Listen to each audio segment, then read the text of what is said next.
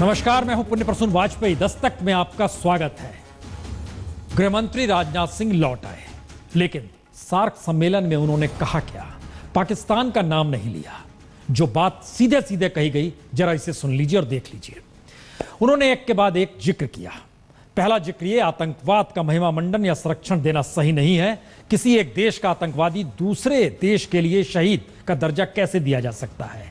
जो भी आतंकवादियों को मदद, बढ़ावा, पनाह, सुरक्षा देगा, उसके खिलाफ कार्रवाई होनी चाहिए। सिर्फ़ आतंकवादी आतंकवादी संगठनों नहीं, बल्कि मदद करने वाले व्यक्ति, संस्थान, देश पर भी कार्रवाई होनी चाहिए। और अच्छा या बुरा आतंकवाद कुछ नहीं होता है, चाहे वो सरकार समर्थक आतंकवाद हो या नॉन स्टेट प्लेयर कार्रवाई होनी चाहिए। सिर्फ़ आतंकवादी आतंकवादी संगठनों के मद्देनजर ही इस रूप में नहीं सोचा जाना चाहिए। लेकिन ये सारी चीज़ें जो हम आपको बता रहे हैं इसको ब्लैकआउट कर दिया गया पाकिस्तान में। हम इस पर रिपोर्ट ज़रूर दिखाएँगे लेकिन जब वो लौटे तो उन्होंने क्या कहा? थोड़ा सा देखिए अभी कुछ नहीं कहूँगा। जो कुछ भी मैं कहूँगा पार्लियामेंट में। वो ब्लैकआउट का जो सर कोई बात आ रही है जो- ब्लैकआउट हुआ स्पीचेस आपके हमारे reporter regional con- con- conference हाँ। में देश का पक्ष आना चाहिए वो प्रभावी तरीके से आया है इतना आश्वस्त रही पूरा बकायदा वहाँ पे प्रोटेस्ट किया 2000 प्रोटेस्टर्स में कैसे लेते हैं आप उसे? खूब जम जम लिया साठ वाली जम कर में भी किया। तो हर जहन में सवाल यह भी है कि नवंबर में सार्क सम्मेलन में क्या प्रधानमंत्री जाएँगे?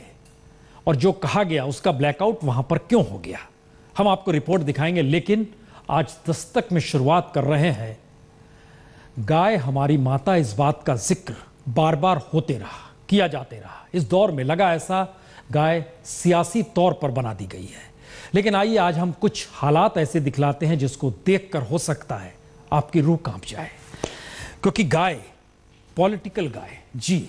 ये एक ऐसी सोच इस दौर में आई तो हमने भी अपने रिपोर्टर्स को कहा, जरा जाके टटोलिए अलग अलग जगहों पर। गौशालाओं का हाल ही देख लीजिए। और जो नज़ारा अब रिपोर्ट में आप देखने जा रहे हैं, जरा सहम कर बैठिए और देखिए इसे।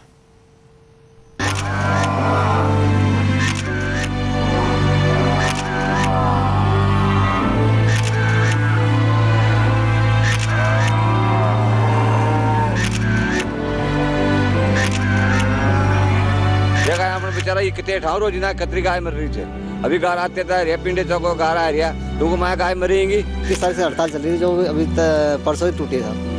तो व्यवस्था तो सब यदि गोबर उड़ जाता तो कीचड़ नहीं होता। ये पीछे तीन नंबर में इतनी गायें मरी पड़ी हैं कीचड़ में। तो सब लेबर कमी से है, सब लेबर आ ही नहीं रही टाइम पे। ये सरकारी गौशाला है और गायों की हालत इतनी खराब कि देखने वालों की रूह काँप जाए कीचड़ में फंसी। भूख से तड़प तड़प कर जान देती गायों की संख्या।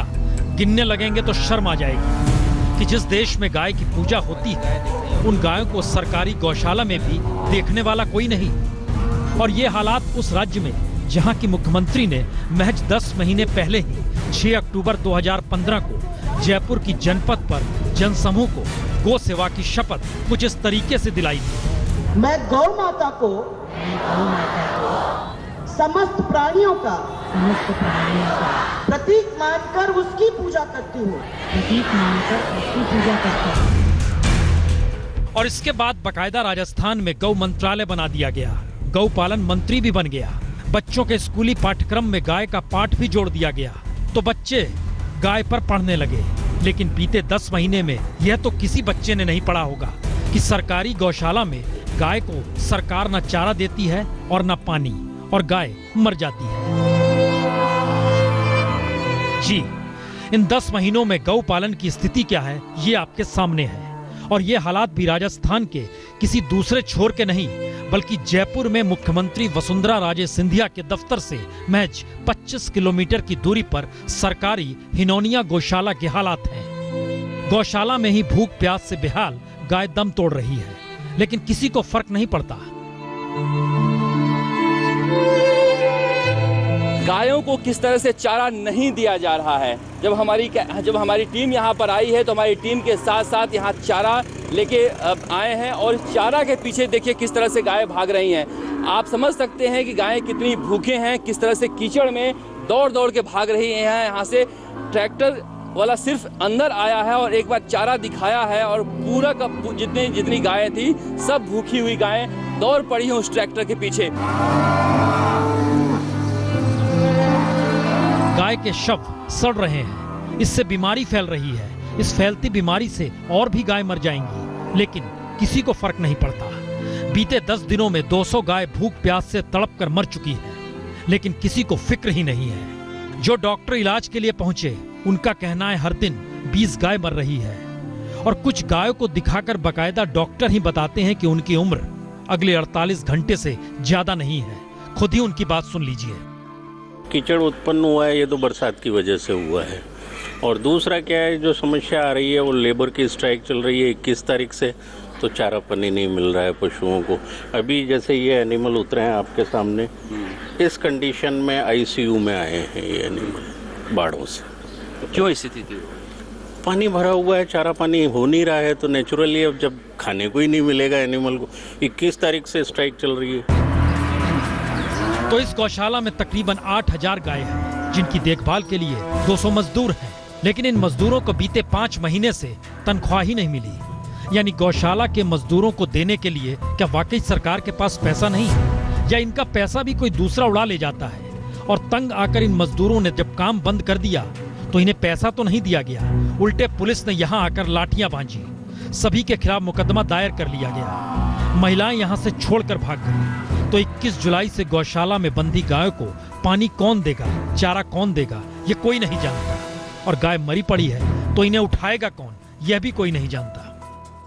इक्कीस तारीख को सब पुलिस बुला के जेंट्स पुलिस वालों ने और लेडीज़ लेडीजों को पीटा श्रमिकों को तो उस उसके डर से भी नहीं आ रही सब लेडीजें।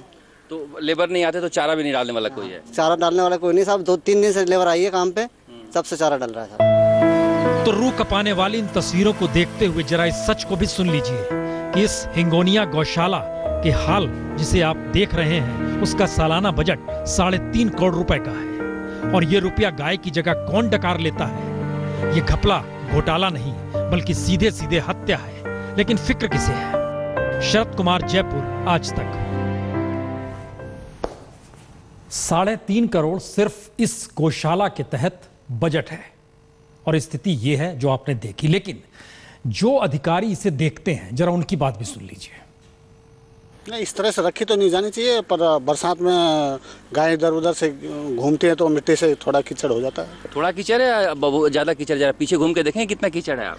नहीं कीचड़ है तो अब गोबर गोबर के साथ मिट्टी हट जाती है तो मिट्टी मैं तो अभी जस्ट आज तो अभी देखा ही आया ही हूँ ना तो अभी देख ही रहा हूँ तो अभी आई बाड़े में देख रहा हूँ कोई इसमें पानी वगैरह तो इधर तो नहीं है। बरसात के सीज़न के अंदर कई दिनों से यहाँ पे गोबर नहीं उठ पा रहा था। और यहाँ लेबर की कमी चल रही है उच्च अधिकारियों को अवगत करा दिया गया है कि यहाँ पे लेबर की कमी है, संसाधन की कमी है।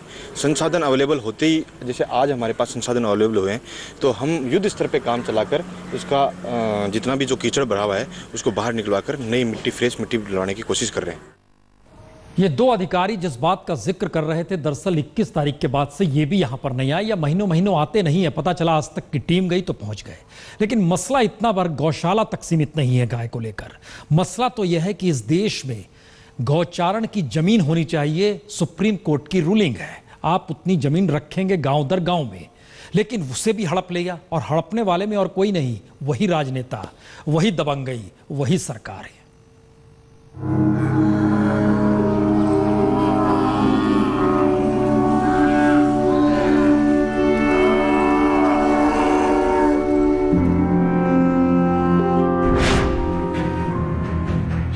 मसला सिर्फ़ राजस्थान का नहीं, देश के किसी भी हिस्से में गौशाला देखकर आपके जहन में यह सवाल खड़ा हो सकता है कि सरकार के पास गाय के लिए चारा तक नहीं है, पानी भी नहीं है, या फिर बजट ही नहीं है? तो जरा इसे भी समझ ले। महज गौशाला दर गौशाला की हालत बिगड़ी हुई नहीं है, बल्कि देश भर में बकायदा गायों को चराने के लिए जो ज़मीन कानूनन होनी चाहिए, उस पर भी कहीं सरकार के ताकतवर नेताओं ने तो कहीं दबंगों ने ही कब्जा कर लिया। सरकार की इस पे सीधी सीधी हस्तक्षेप है और पूरी इस जमीनों को लेकर सरकार ने कोई नीति निर्धारित नहीं की और जो जो पुराने समय से जो जमीनें थी इवन मुगलों ने, अंग्रेज़ों ने जिस ज़मीन को बरकरार रखा तो आने वाली आज की शुभचिंतक सरकारों ने उन सारी जमीनों को या तो वो किसी दूसरे दूसरे कब्जों में किसी की भेंट चढ़ गई या सरकार की जो परियोजनाएँ थी, उन सब में इन जमीनों को सस्ते में लूट लिया। जी। वाकई राज्य दर राज्य, गौचारण ज़मीन ही सरकारों ने हड़प ली है। तो बेचारी गाय क्या करे? मसलन, हमने बात राजस्थान से शुरू की थी। तो जयपुर सांगनेर में इक्कीस हज़ार बीघा गौचारण ज़मीन पर कब्जा सरकार ने ही कर लिया। शाहपुर में तीन हज़ार छह सौ सड़सठ बीघा ज़मीन पर अवैध कब्जा कर लिया गया है। फागी में गौचारण की नौ हज़ार नब्बे बीघा ज़मीन हड़प ली गई। यानी एक तरफ़ सुप्रीम कोर्ट का फैसला है कि गौचारण ज़मीन पर सरकारें तभी कब्जा करें जब उसकी एवज में दूसरी जगह ज़मीन दे दे। लेकिन कमोवेश, हर राज्य में गौचारण की हज़ारों हज़ार हेक्टेयर ज़मीन पर कब्जा किया जा चुका है। पंजाब में सवा लाख एकड़ गौचारण ज़मीन तो हरियाणा में तकरीबन डेढ़ लाख हेक्टेयर ज़मीन पर दबंग नेताओं का ही कब्जा है। जितनी भी सरकारें आज बात करते हैं तो हरियाणा की, पंजाब की तो उन सारी जगह के ऊपर जो ऑक्शन इनलीगल ऑक्शन जबकि सुप्रीम कोर्ट का इस पे सीधा जो आदेश है, उन सारी हाई कोर्ट के आदेश हैं। तो उनकी इम्प्लीमेंटेशन और ऑर्डर की कोई भी मान्य ना हो कि सरकार अपनी मनमानी, तानाशाही हट धर्मिता लाल फीताशाही के चलते ज़बरदस्ती ये जो नीतियाँ हैं लागू करके ऑक्शन करा रही हैं इनलीगल तौर पे। और गुजरात मॉडल में तो गौचारण ज़मीन की जगह ही नहीं है। क्योंकि राज्य के 33 जिलों में गौचारण के लिए तकरीबन 40 लाख हेक्टेयर ज़मीन होनी चाहिए। लेकिन गौचारण की ज़मीन बची है साढ़े आठ लाख हेक्टेयर। यानी तकरीबन 32 लाख हेक्टेयर गौचारण की ज़मीन सरकार के गौ प्रेम के बावजूद कहाँ गई? इसकी फ़िक्र इन गौरक्षकों को नहीं जो ऊना में कुछ इस तरीके से गौरक्षा के लिए सड़क पर हिंसक दिखाई दिए। तो सवाल कहीं बड़ा है कि आखिर गायों को लेकर क्या वाकई देश संवेदनशील है? क्योंकि एक तरफ़ गौचारण की ज़मीन जब हड़पी जा रही है तो फिर चारा बचेगा कहाँ? ज़मीन नहीं है और उसके बाद बजट भी नहीं होगा तो फिर पानी भी कौन पिलाएगा? इसलिए क्योंकि पशु कल्याण बोर्ड की माने तो गाय पर हर दिन खर्च सौ रुपए होना चाहिए। लेकिन एक गाय पर खर्च होते हैं महज दो रुपए। इसीलिए सड़क पर मरने वाली हर गाय के पेट से कम से कम 30 किलो प्लास्टिक कचरा निकलता है। और सबसे बड़ा सच तो यही कि भारतीय पशु कल्याण बोर्ड का जो बजट 2011-12 में 21 करोड़ 70 लाख रुपए था, वो 2015-16 में घटकर 7 करोड़ 80 लाख रुपए हो गया है। हमने डॉक्टर को बुलाया, डॉक्टर आया नहीं और बछड़ा इलाज के अभाव में ख़त्म हो गया। एक महीने का बछड़ा था हमारा। यहाँ प्रशासन को सुनने को तैयार नहीं है। गौ माताएँ जगह जगह घूम रही हैं, उनके लिए पीने का पानी नहीं है। इस मुश्किल स्थिति में किस बात का ज़िक्र किया जाए? इस देश के भीतर तो एक नई स्थिति आ गई है जिसमें रोटी भी मज़हब के नाम पर छीनी जा रही है।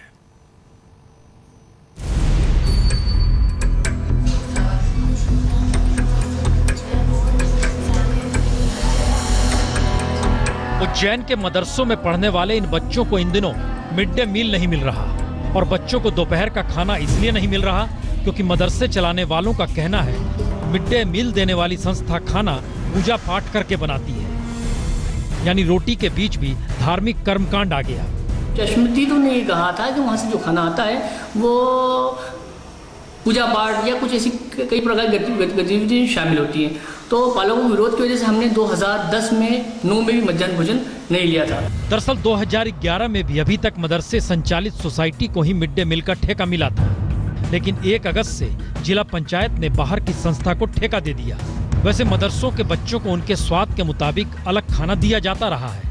लिहाजा कुछ बरस पहले एस्कॉन से मिड डे मील लेने से भी मदरसों ने इनकार कर दिया था। जो अपनी संस्था सेंट्रलाइज किचन चला करके इनको देती है, उनसे ये नहीं लेते हैं। तो पूर्व में भी इन्होंने इस्कॉन से कभी भोजन लिया नहीं है और इनकी समितियों को इसकी हम लोग कुकिंग कॉस्ट वगैरह जारी करते रहे। वही निवेदन इन्होंने इस बार किया है लेकिन बड़ा सवाल यही कि जिस तरीके से 21 मदरसों ने धार्मिक कर्मकांड की वजह से रोटी बंद कर दी है तो सवाल तो भूख का है। और बच्चों को खाना मिले इसकी ज़िम्मेदारी प्रशासन की भी है और मदरसे संचालित करने वालों की भी। लेकिन मिड डे मील पर ही धार्मिक कर्मकांड का साया पड़ जाएगा, ये किसने सोचा होगा? और ऐसे में अब दोष किसे दिया जाए? संदीप कुलश्रेष्ठ, उज्जैन, आज तक। बड़ी मोटी लकीर है। लेकिन सियासत बेहद महीन तरीके से इस मोटी लकीर पर भी छा जाती है और अपने तरीके से कहीं ज़्यादा मोटी लकीर खींचते हुए दो हिस्सों में स्थितियों को बांट देती है। लेकिन आइए, सियासत के इस मोड़ पर वाकई लक्ष्मण रेखा कौन खींच रहा है और कैसे खींच रहा है और किस रूप में खींची जा रही है, इसका नज़ारा दिल्ली में खुले तौर पर है। हाईकोर्ट का एक फैसला और फैसले पर स्थितियाँ बढ़ गई। चीज़ें हम महसूस करते हैं जो इनकरेक्ट हैं। उनको हम सबको करेक्ट करेंगे। जनता ने हमको यहाँ बिजली कंपनियों का भ्रष्टाचार बंद करने के लिए भेजा था खेल में भ्रष्टाचार बंद करने के लिए भेजा था। ये जो छोटे छोटे ट्रांसफ़र पोस्टिंग में दलाली और उसके बाद जो अफसर जाता है ट्रांसफ़र पोस्टिंग के बाद वो छोटी छोटी चीज़ों में रिश्वत माँगता है वो रिश्वत बंद करने के लिए भेजा था। किसी एक्ट से रिपग्नेंसी हो मतलब हमने एक बिल बनाया दिल्ली ने और सेंट्रल में कोई और बिल है उसमें दोनों आर्टिकल्स में फ़र्क आ रहा हो तो हमको वो बिल पहले केंद्र सरकार को भेज के वो चीज़ें साफ़ कर लेनी चाहिए। क्यों इतना पैसा खर्च करके दिल्ली में विधायक चुने जाते हैं? क्यों इतना पैसा खर्च करके विधानसभा चुनी जाती है? विधायक फिर सरकार चलती है। क्यों ये सचिवालय बनाए गए? तो एक व्यवस्था के तहत बनाए गए इनको एक और ये संवैधानिक व्यवस्था है। हमारी तो हमेशा राय ये होती है हम फ़ाइल वापस भेजते हैं कि साहब इसको देख लीजिए ये कॉन्स्टिट्यूशन ये कहता है इसको इस तरीके से कर लीजिए अब वो न करें तो उसमें हम कुछ नहीं कर सकते। अब किसान को तो 50 लाख में संतोष करना पड़ेगा प्रॉपर्टी डीलर उसी ज़मीन को किसान से 50 लाख रुपए में लेकर तीन करोड़ में बेचेगा। हमने इस धंधे को बंद किया। हमने कहा किसान को सीधे तीन करोड़ मिलने चाहिए। सवाल गवर्नेंस का, सवाल कॉन्स्टिट्यूशन का, सवाल सिस्टम का, सवाल डेमोक्रेसी यानी लोकतंत्र का। हाईकोर्ट ने फैसला दिया एलजी दिल्ली के बॉस हैं। कुछ सवाल उठेंगे सुप्रीम कोर्ट में, क्योंकि मामला सुप्रीम कोर्ट में जा रहा है। कौन कौन से सवाल हैं, जरा आइए समझ लेते हैं। पहला सवाल, अगर एलजी ही प्रशासनिक प्रमुख है तो दिल्ली के मुख्यमंत्री की वैधानिक स्थिति है क्या? दूसरा सवाल अगर दिल्ली सरकार एलजी की इजाज़त बगैर कानून नहीं बना सकती तो जनता ने दिल्ली सरकार को चुना क्यों? तीसरा सवाल। अगर नीतिगत फैसले एलजी को लेने हैं तो दिल्ली विधानसभा की बैठकों में होता क्या है या अब होगा क्या? चौथा सवाल। सचिवालय और विधानसभा के अधिकारी, कर्मचारी किसकी सुनेंगे? एलजी की सीएम की। भ्रष्टाचार के मामलों पर जाँच बिना एलजी के नहीं तो फिर मंत्री और विधायक करेंगे क्या? जनता अपनी शिकायत एलजी से करे या दिल्ली के मुख्यमंत्री से करें अगर एलजी को ही सारे अधिकार तो विधायकों को तनख्वाह किस लिए दी जाए? जनता की गाड़ी कमाई पर पहले चुनाव, फिर सरकार चलाने पर पैसा खर्च किया ही क्यों गया? अगर एलजी ही बॉस तो हर पार्टी के चुनावी घोषणा पत्र में जनता के वादों का आधार क्या था? हर पॉलिटिकल पार्टी का मैनिफेस्टो जनता को क्यों लुभा रहा था? एलजी और सीएम के संघर्ष में दिल्ली की दो करोड़ जनता के प्रति जिम्मेदार कौन होगा? ये दस सवाल हैं। ज़ाहिर है सुप्रीम कोर्ट में इसका ज़िक्र होगा, लेकिन एक सवाल और भी है। ये विधायक चुनकर राज्यसभा में भी भेजते हैं किसी को। तीन सांसद राज्यसभा में हैं। फिर जिनके पास कोई अधिकार नहीं, वो चुन के वहाँ कैसे भेज रहे हैं? संयोग से तीनों फ़िलहाल कांग्रेस के हैं। वहाँ कई कमेटियों के वो चेयरमैन हैं। उनका काम क्या है? बहुत तेरे सवाल उठेंगे इस सबके बाद, लेकिन सुप्रीम कोर्ट की व्याख्या का इंतज़ार करना होगा। लेकिन एक लक्ष्मण रेखा राजनाथ सिंह ने खींची और इसके बाद पाकिस्तान ने उनके भाषण को सेंसर कर दिया। यह सार्क सम्मेलन में गृहमंत्री राजनाथ सिंह के भाषण का वो हिस्सा है, जिसे पाकिस्तान में सेंसर कर दिया गया। राजनाथ के भाषण के शुरू होने से पहले सभी मीडिया कर्मियों को सम्मेलन कक्ष से बाहर कर दिया गया। किसी भी न्यूज़ चैनल या न्यूज़ एजेंसी को वहाँ बैठने की इजाज़त नहीं दी गई। सिर्फ़ पाकिस्तान की सरकारी न्यूज़ एजेंसी, पीटीवी को ही राजनाथ के भाषण के दौर में बैठने या रिकॉर्ड करने की इजाज़त थी लेकिन भाषण का प्रसारण करने की इजाज़त पीटीवी को भी नहीं थी। Controlling of media controlling the narrative इसे कहते हैं कि जो वो कहना चाहते हैं उसे कहें। लेकिन आजकल 24/7 मीडिया के दौरान अगर आप मीडिया को इस तरह कंट्रोल करेंगे तो ये ब्लैकआउट नहीं तो और क्या है? यानी पहली बार जिस सार्क को बनाया ही गया शांति बरकरार रखने के लिए शांति की वही मर्यादा सार्क सम्मेलन में राजनाथ के भाषण को सेंसर कर पाकिस्तान ने तोड़नी शुरू की। राजनाथ ने अपने भाषण में पाकिस्तान को कटघरे में खड़ा कर सीधे कहा, किसी एक देश का आतंकवादी दूसरे देश में शहीद या स्वतंत्रता सेनानी कैसे हो सकता है? तो पाकिस्तान के गृह मंत्री निजार खान ने अपने भाषण में जवाब देने की जगह कश्मीर का राग छेड़ दिया। राजनाथ सिंह ने पाकिस्तान का नाम लिए बगैर जब सीधे कहा, जो आतंकवाद को या आतंकवादियों को मदद, बढ़ावा, पनाह, सुरक्षा या किसी भी प्रकार का सहयोग दे रहे हैं, उन्हें अलग थलग करने की ज़रूरत है? तो पाकिस्तान के गृह मंत्री ने आतंकवाद के खिलाफ शुरू किए गए एक्शन प्लान जबरे अजब का ज़िक्र किया। राजनाथ सिंह ने मुंबई पठानकोट, काबुल, ढाका पर हुए हमलों का ज़िक्र करते हुए जब सीधे कहा, आतंकवाद को अच्छे या बुरे में नहीं बांटा जा सकता। समर्थन कोई भी करे, उसके खिलाफ कार्रवाई करनी चाहिए, चाहे वो सरकार समर्थक आतंकवाद हो या नन स्टेट एक्टर हो। तो पाकिस्तान के गृह मंत्री ने पाकिस्तान में हुए आतंकी हमलों का ज़िक्र कर खुद को आतंक से कहीं ज़्यादा घायल बताया। और सार्क सम्मेलन में तनाव इस हद तक बढ़ा कि दोनों देशों के गृह मंत्रियों ने कायदे से हाथ तक नहीं मिलाया। राजनाथ पाकिस्तान के गृह मंत्री चौधरी निसार अली खान के लंच में शामिल भी नहीं हुए। और निसार खान जब प्रेस से मुखातिब हुए तो तलखी लहजे में और दिल्ली पहुँचने पर जब पत्रकारों ने राजनाथ सिंह से सवाल किए तो राजनाथ सिंह ने मुस्कुराते हुए कुछ यूँ कहा। आप जो जो कुछ भी उठा है वो कल आपको सब मालूम हो जाएगा। या तो हमारी वहाँ की जो हमारी स्पीच है वो डिस्ट्रीब्यूट हुई है वहाँ पर। आई मीन अगर इंडिया में ऐसे होता है तो हम लोग ज़्यादा बेहतर करें। पूरा बकायदा वहाँ पे प्रोटेस्ट किया दो हज़ार प्रोटेस्ट कैसे लेते हैं आप उसे? जम जम कर लिया। जम कर किया तो सवाल अब यही क्या नवंबर में सार्क सम्मेलन में इसी तरह प्रधानमंत्री मोदी भी शामिल होने जाएँगे? या उससे पहले ही पाकिस्तान को सीख देने के लिए एलओसी मिटेगी? या फिर सारी निगाहें अब जा टिकी है चीन पर? क्योंकि अगले हफ़्ते चीन के विदेश मंत्री वांग यी को भारत आना है। और फिर जी ट्वेंटी समिट के लिए चार पाँच सितंबर को प्रधानमंत्री मोदी को चीन जाना है। और इस दौर में हर कोई देख समझ रहा है कि भारत पाकिस्तान को लेकर पहली बार चीन और अमेरिका भी पट गए हैं। चलिए, इस स्थिति में भारत और पाकिस्तान, लेकिन सवाल गीत संगीत का भी है। किशोर कुमार का जन्मदिन का मौका है।